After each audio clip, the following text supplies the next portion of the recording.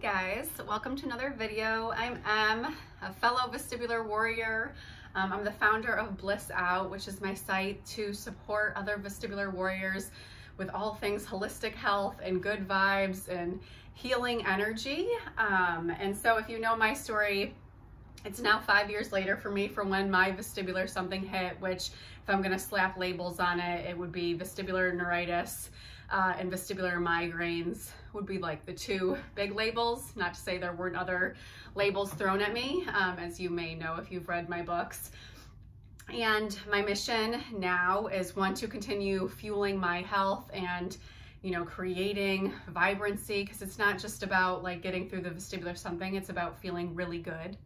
Um, and my goal that goes along with that is helping other people come through their vestibular something and feel empowered and offer love, light, and hope because this stuff is so crazy dark. Uh, going through a vestibular something, as I know you know if you're watching this and we're connecting. So this video is like where to start. And of course, my journey is not going to be identical to yours.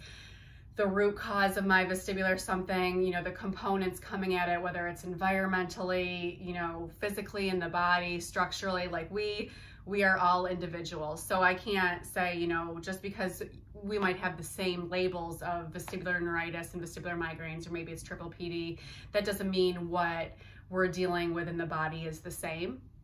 Um, but I put it out there because, you know, all I wanted at the beginning of my journey is like, where do I even begin?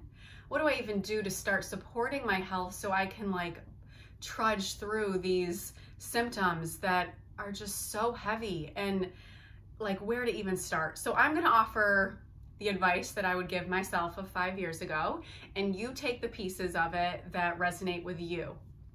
Okay, so I didn't, first of all, I didn't have a diagnosis for, was it 18 months?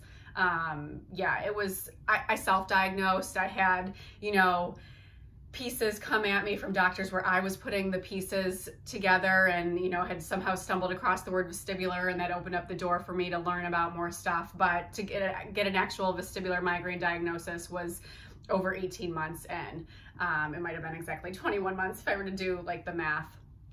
Um, so, and I was like, so much healing had taken place by that time. Like I had was having 90% uh, days and weeks at that point, um, and then just dealing with the heart and soul of the vestibular migraine episodes. So, so much healing happened before I had a diagnosis, before I had a doctor who even understood anything that was going on in my body. Uh, so just keep that in mind as well. So what I needed was to just focus on fueling my health, to look at my lifestyle, to look at my diet, to look at my environment. Like so much of chronic illness it's not just one thing, okay? Like the skincare products that we use, the chemicals in our food, um, in our home, um, the people we surround ourselves with, the energy, the food that we're putting in our body, which is our fuel. And I always say that diet has been the foundation of my healing. Not that it alone has been the thing that has healed me, but it has been like the rock and the thing that has carried me forward as I worked through these other components. So I would look at how you're eating. Um, I went back to school for holistic nutrition. I just wanted to really empower myself. I follow, I have followed a uh, vegan diet for the last decade, and now my focus is just like a plant powered diet that's whole foods. Like it's kind of shifted. I don't care about like labels. Um, and I hate to even throw a label out there because I think that what is most important is real whole foods, organic whenever possible. So because the chemicals and the pesticides, you got to think like your nervous system is is very sensitive and you could be dealing with gut stuff. You know, this stuff is all interconnected and your liver needs so much love. And if we're throwing chemicals and pesticides at it, it's a big problem. It's a huge contributing factor to chronic illness in our world today. So really look at the food you're eating. Like stuff out of, yes, there are things that are not terrible that come from a package, um, but real foods, okay? Fruits, vegetables, um, if you do well with grains, like whole organic grains, maybe, you know, sometimes um, grains, people when they're dealing with inflammation aren't the greatest thing for them. You gotta, you gotta listen to your body. Um, for me, just like tons of fruits and vegetables and, you know, natural fats, proteins. Um, and if you're if you eat animal products, like quality is everything, okay? So organic, pasture raised, um, grass fed, these are things that can't be ignored because what is going into your body, like you're trying to heal, you don't want to be putting any more junk into it. So it's a personal journey, and I don't think there's any right or wrong when it comes to like the label of the diet you really have to listen to your body um, and do what works for you but real food it, it can't it can't be ignored lifestyle. Um, for me i had to like really look at things that no longer were serving me or no longer mattered and how I was approaching each day. Like I had I had to let the stressors like go to the side. And you know, I was a mom of, you know, my kids were very small at the time. And I just, my focus just had to be them and getting through the workday and focusing on my health and everything else was just noise, okay?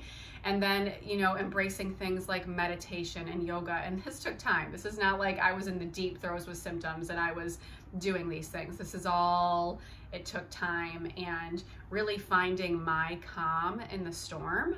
Um, so looking at how I was feeling my body, looking at my lifestyle, and this comes to like what you're bringing in your home, okay? It goes beyond the food. It's your cleaning products, it's your self-care products like all of that like i'm huge into essential oils or my oils um, as you you may know and that became a light in my life like how can i use oils as my healthcare system to support my body both emotionally and physically and then help my family and i just it was so fun to focus on using like plant medicine okay i got really into it because i needed a light i didn't feel like i didn't want just medication thrown at me i wanted I wanted to do things that I could to support my health. And it just carries on to now, okay? I've learned so much and now I can do those things even through the vestibular something.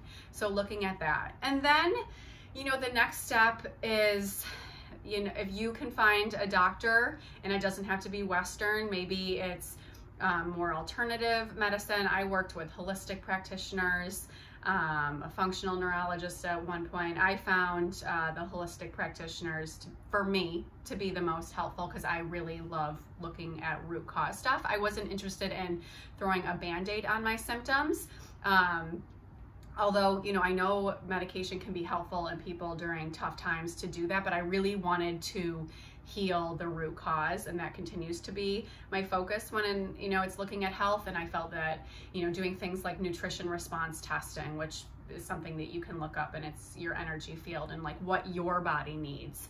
Um, that was something that i did a bunch uh, in the first few months and i and it really it's like peeling back layers okay? So your vestibular something probably isn't just like one thing. Maybe but if it's not you know there might be layers of things. Like an example for me would be like i was dealing with hazardous toxins and heavy metals and a fungal thing um, at one point. This is all various times like over, you know, the journey, but it's not like one thing that I could just address and then poof, it was all better. Because my stuff hit three months postpartum after the birth of my second child and it was like my liver could no longer you know handle everything that was going on. It wasn't one thing it was like things just went over the edge and then it i had to start giving my body the love to heal so you find what resonates with you i did not stumble across a Western uh, medicine doctor that knew anything about vestibular migraines, but I think more are learning about it. So you might find one in your area um, or go to the Vestibular Association's website and see if you can find a doctor that way. I just want you to be encouraged that you can do things to support your healing even even if you don't initially find a doctor that knows anything about what's going on with you, okay? That you can be empowered to support your health even while you're trying to get answers like read books uh, listen you know if you can't focus on the page of books like listen to audiobooks i get so into listening to podcasts and books just to learn about my body and also just listening to other people's inspiring stories even if they're not going through a vestibular something everybody goes through life stuff and trauma right? So like listening to that and listening to how these people navigated that i just became a junkie for taking in good vibes and information that kind of helped me put the pieces together. Um, follow your passions you know follow things that light you up to what are you going to do so that you can support your health and help your body heal and then give back? Like what's the thing that you want to get through your vestibular something so you can do what? You know is it to go run a marathon and you know climb a mountain? And maybe it's not even something physical maybe it's you know start a business or you have a passion with making something. Like i think just focusing on passions and things that light you up is healing in its own way in such a big way that you can't even bring words to it because that's what's going to give you life when you feel like you're sitting in darkness with your symptoms.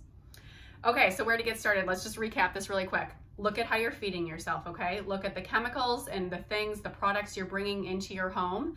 Look at your lifestyle where can you like clean some things up? Where can you start to create good vibes in your home? Maybe it's a diffuser with essential oils, you know, going downstairs in the morning to the kitchen to make yourself a nourishing breakfast and putting on your diffuser. Like, where can you start to create these routines and habits um, to bring the good vibes? And then it's focusing more on the root cause stuff. And maybe that's working with a Western medicine doctor. Maybe that's more an alternative approach. But where's the support that you can bring in from, you know, the external world to continue to help you on your journey? And those things all together can be so powerful. Um, I have lots of resources on my site as far as like books and things that have been monumental and other videos on this site that have helped me and continue to be like a light on my journey right now. Don't hesitate to reach out um, and ask questions. My books, my first book, Uncovering Bliss, and my second, Creating Bliss, I wrote them for vestibular warriors so that they would, one, not feel alone, and then also that we can work through topics that come up all the time when I'm talking with people going through their own vestibular something. So I hope that those are books that you can keep with you and refer to, you know, in your dark moments and in your light moments and just keep on fueling you along the way. Um, and yeah, I think that about covers it. Um, I'm thinking of you guys. I'm rooting for you guys and wishing you well, okay? All right. Bye, everyone.